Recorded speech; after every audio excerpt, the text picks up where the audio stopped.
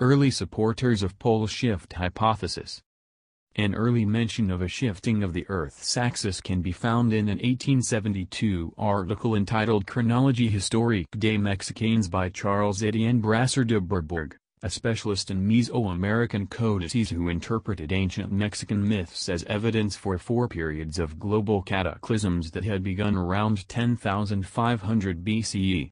In 1948, Hugh Auchincloss Brown, an electrical engineer, advanced a hypothesis of catastrophic pole shift. Brown also argued that accumulation of ice at the poles caused recurring tipping of the axis, identifying cycles of approximately seven millennia.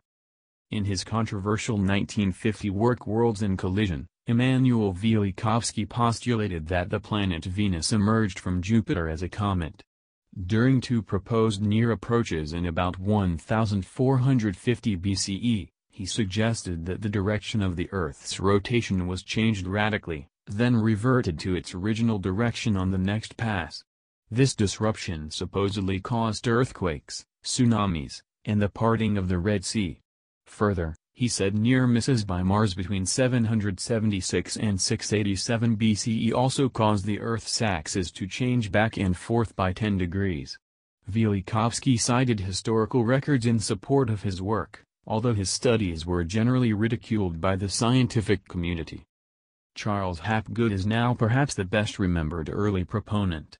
In his books The Earth's Shifting Crust, 1958, which includes a foreword by Albert Einstein, and Path of the Pole, 1970, Hapgood, building on Adhémar's much earlier model, speculated that the ice mass at one or both poles overaccumulates and destabilizes the Earth's rotational balance, causing slippage of all or much of Earth's outer crust around the Earth's core, which retains its axial orientation. Based on his own research, Hapgood argued that each shift took approximately 5,000 years, followed by 20,000 to 30,000 year periods with no polar movements. Also, in his calculations, the area of movement never covered more than 40 degrees. Hapgood's examples of recent locations for the North Pole include Hudson Bay, 60 N, 73 W, the Atlantic Ocean between Iceland and Norway, 72 N, 10 E, and Yukon, 63 N, 135 W. However, in his subsequent work The Path of the Pole, Hapgood conceded Einstein's point that the weight of the polar ice would be insufficient to bring about a polar shift. Instead, Hapgood argued that the forces that cause the shifts in the crust must be located below the surface. Hapgood wrote to a Canadian librarian, Rand Flem-Ath, encouraging him in his pursuit of scientific evidence to back Hapgood's claims and in his expansion of the hypothesis. Flem-Ath published the results of this work in 1995 in When the Sky Fell co-written with his wife. In 1974 Flavio Barbiero, an engineer and explorer, theorized that shifting of the Earth's axis took place 11,000 years ago and caused what was subsequently recorded in myth as the destruction of Atlantis and Mu. He suggested that shifting was probably caused by the impact of a comet on the Earth's surface and that the current position of Atlantis has to be sought under the Antarctic ice sheet. Recent research on pole shift hypothesis. The field has attracted a number of authors offering a variety of evidence.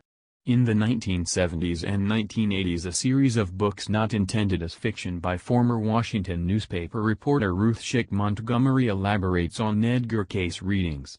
In 1997 Richard W. Noone published May 5, 2000, Ice, The Ultimate Disaster.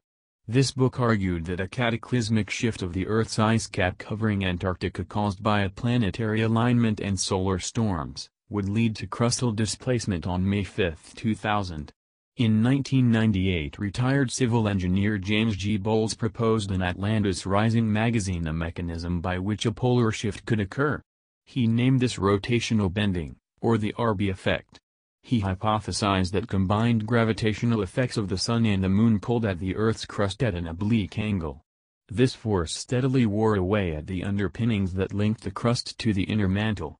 This generates a plastic zone that allows the crust to rotate with respect to the lower layers. Centrifugal forces would act on the massive ice at the poles, causing them to move to the equator. Books on this subject have been published by William Hutton, including the 1996 book Coming Earth Changes, Causes and Consequences of the Approaching Pole Shift, which compared geologic records with the psychic readings of Edgar Cayce and predicted catastrophic climate changes before the end of 2001. In 2004 Hutton and co-author Jonathan Eagle published Earth's Catastrophic Past and Future, a scientific analysis of information channeled by Edgar Cayce which summarizes possible mechanisms and the timing of a future pole shift. Scientific research on pole shift hypothesis. While there are reputable studies showing that true polar wander has occurred at various times in the past, the rates are much smaller, 1 degree per million years or slower, than predicted by the pole shift hypothesis, up to 1 degree per thousand years. Analysis of the evidence does not lend credence to Hapgood's hypothesized rapid displacement of layers of the Earth. Data indicate that the geographical poles have not deviated by more than about 5 degrees over the last 130 million years, contradicting the hypothesis of a cataclysmic polar wander event. More rapid past possible occurrences of true polar wander have been measured, from 790 to 810 million years ago. True polar wander of approximately 55 degrees may have occurred twice. There is no known physical evidence of more rapid shifts occurring at any point during Earth's history.